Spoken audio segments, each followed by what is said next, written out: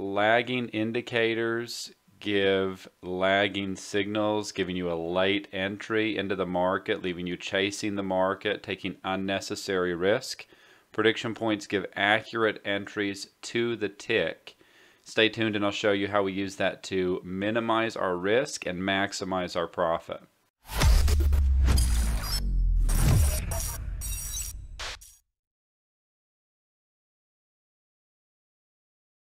So I'm going to walk through this one at a time here. I'm going to talk about if you were only a seller today and if you were only a buyer today. And then you can piece those together. So if you just picked a side and you said, all I'm going to do today is I'm going to sell, or all I'm going to do today is I'm going to buy.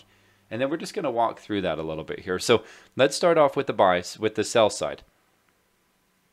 So right here we have this, the market comes up here First opportunity to get short right here, 79.50. The market came down here, came back up. Next short would be right here. From this would be the next price down, so there's your next short opportunity. Then the market came down here. Didn't really get a good clean break of this, but we did come back up right here within a tick. Yeah, within a tick right here. So there's another short opportunity right there. So there's a short, there's a short, there's a short. Then it came down here, then right here, there's another short opportunity right here. And then I don't know where you were shorting for if you weren't taking at least some profit in front of here because this is from 79.50 to 71. That's eight and a half points. So somewhere in here there's profit taking opportunities. That's an eight and a half point trade that's up right there. Now the market comes back up here you really wouldn't want to be shorting this again because we pretty much already used that. So this is not really a short, but let's just say it came up here and you shorted it. Look how long this thing, you had 5 minutes, 10 minutes, 15 minutes, 20 minutes, 25 minutes, 30 minutes before it really started to push anywhere. And even then, if you were short at 76 quarter, push anywhere was 5 ticks. This was 5 ticks off of this price. So you had 25 minutes that you could have taken this trade off at break even that it wasn't working. Look how quick the winners work. This worked immediately, this works immediately, this works immediately, this works immediately. This takes 25 minutes. Then let's say you're short again up here. Well, now look what happens. You've got 5, 10, 15, 20, 25 minutes before this really goes anywhere. 20 minutes before it goes anywhere at least. So now you're short from here. Can you get the trade off close to break even after 20 minutes? If you're short here and it's just not working, you've got close to 20, 25 minutes that this is either you're a little in the green or a little in the red. Can you get it off somewhere around break even in 20 minutes? And then if you're short up here, this is 79 half, the probe up here is 80, three quarters, that's only five ticks. If we pull this in here a little bit, you can see this area right here. This is something we'd be paying attention to right here. So this 80 quarter area. So if you're short here, then the opportunity, it did probe up above here. So if you worked to get that trade off at break even, you took this one off at break even. And then, or you held it. Either way, doesn't really matter and then it came down here and then here's another opportunity to get short again right here. So this is 79 quarter 79 half. There's an opportunity to get short. It came down. No real it didn't really get close enough here. Maybe you could have gotten filled to the tick if you were trading the tick in front of that but not a lot to do there. Then there's a short opportunity here from 74 quarter and then that came down here. There's no trade here. We never got below this yet, so no trade here. So here we go. First opportunity to get a trade right here short.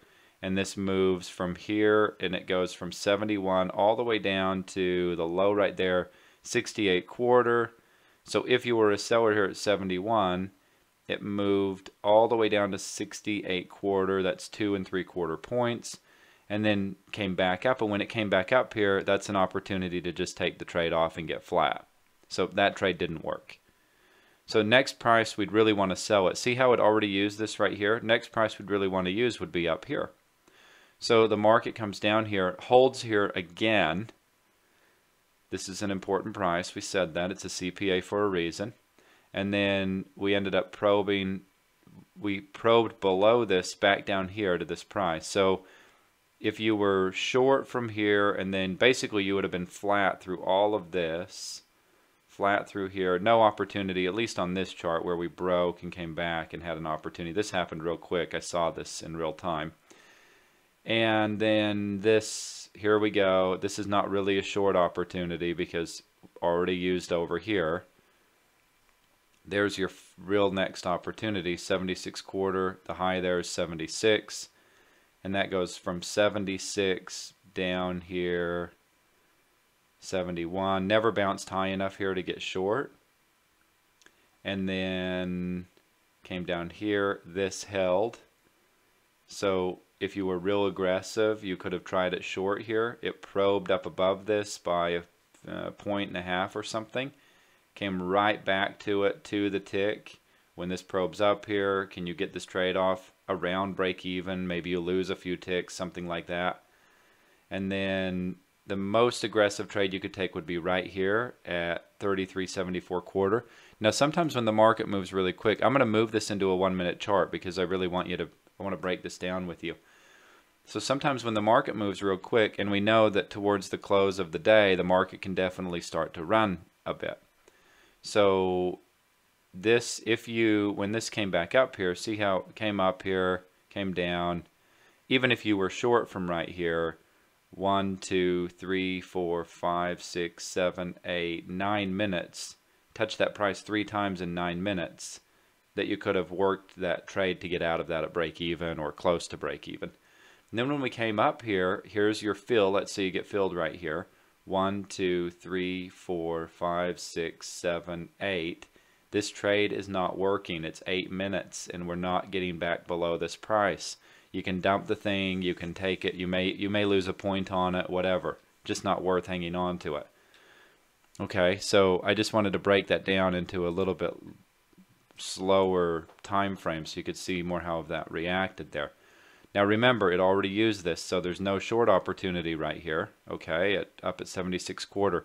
So even if we're an aggressive seller, the next price we can really sell would be these two right here, and then obviously it came up to 81. So let's break this down again into a one minute chart and see how it reacts here.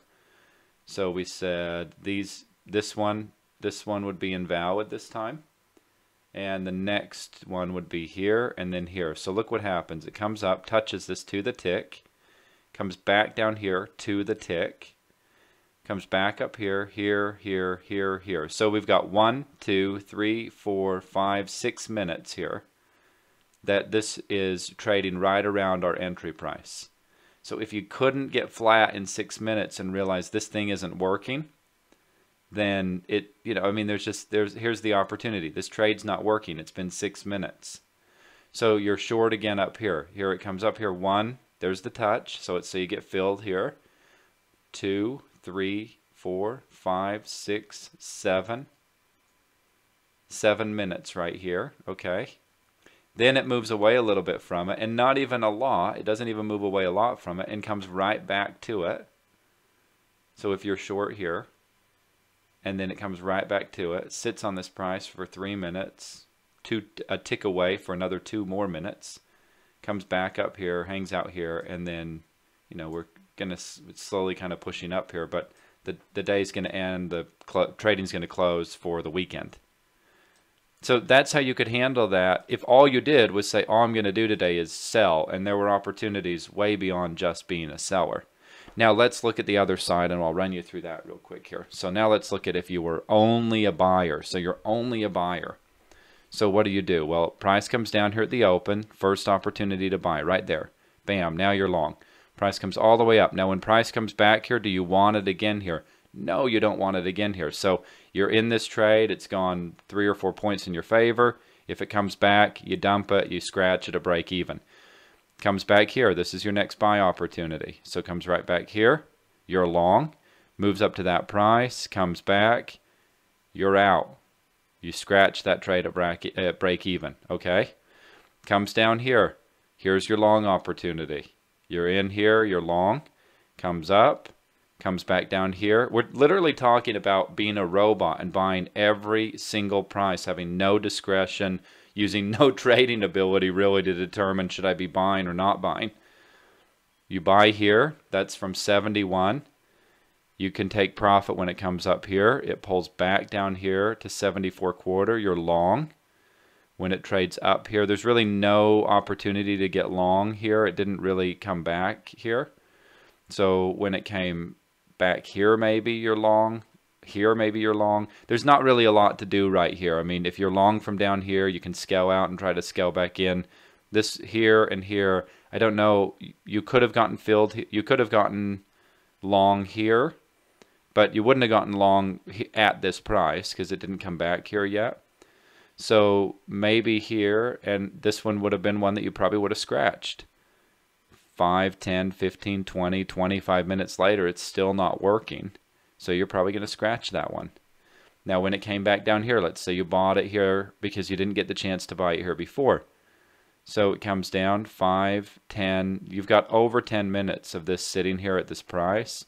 Doesn't look like they're going to rip it higher from there, does it? So just not a lot happening. You can scratch that trade to break even. We didn't break out above here. You can scratch this one. All right. If you missed it and the market ended up coming up here and you took that trade off and then it came down here like this, you could always get in again here when it comes back down there. If you scratched it and maybe you shouldn't have scratched it, maybe you should have kept it. You could always hit it again right there. Okay. So there's no trade here. You already bought this price. We're not going to buy these multiple times. You already bought it here. There's really no trade here because we already bought it here. And so the next trade would be down here. You're long, and this is a scratch trade. There's not really a lot to do here. And it hangs around here for a bit. It finally can't really break out up here. So there's really no buy here because it can't really, never really breaks out here for a real buy opportunity. Comes down. This is really not doing much of anything. If you were advanced, you could have gotten long down here. If you're new and you're just working in order a couple ticks in front of this, you would have missed that by a tick. So there's that one. It comes back up here. So where can I buy? Well, now it pulls back down you could buy here. So here's a buy, so 5, 10, 15, 20 minutes not working. Scratch it at break even.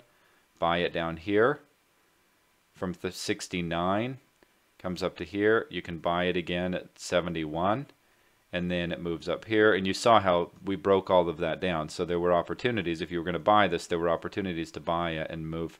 So if all you did was if you developed a bias and you said I'm going to just buy or I'm going to just sell and you got really good at getting in a trade and if it's not working scratching it and trying it again at another price or getting in the trade and if it's working getting out as it's moving in your favor and adding to it as it's moving back and so if that's all you did I mean there's just a, a lot of profit to be made in there now if you're a competent trader here's the open. We're shorting the open down to 71. That's what we said, 71 to 69 area. Great. Now I'm long from 69 and or 71 and I'm short again up in this area.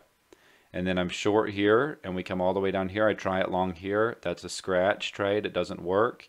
So maybe I'm able to get short somewhere up in here. I know there's not a price here, but if maybe I get short somewhere up in here, maybe I don't get short. Maybe this moves down here, I get long. Maybe I miss the long down here, but it comes back, I try it long here, scratch that, it doesn't work.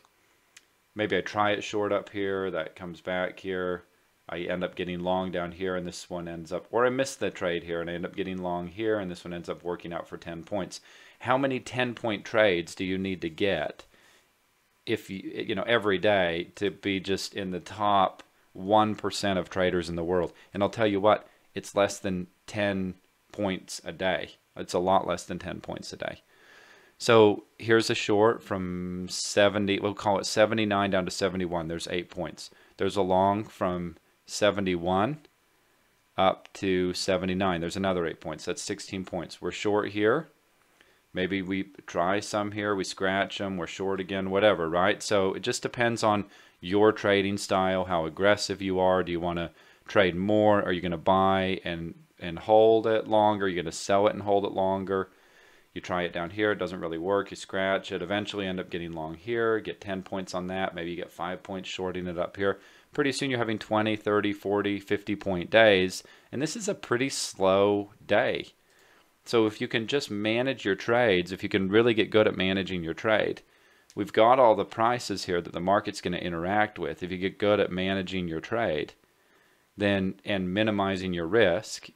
So what if you scratch one that ends up working out? Big deal, hit at the next price and you know it's just not that big of a deal. So you get better with that over time, but I wanted to break that down so you can see how to actually trade different prices and how to manage the trade when you're in those. So there you have it for today. That's a much more in-depth review. Again, you can go watch today's pre-market video where we walked through and described all of what could happen here that actually eventually did happen. And you can go check that out here in the top link. And we will see you all in the trade room next week.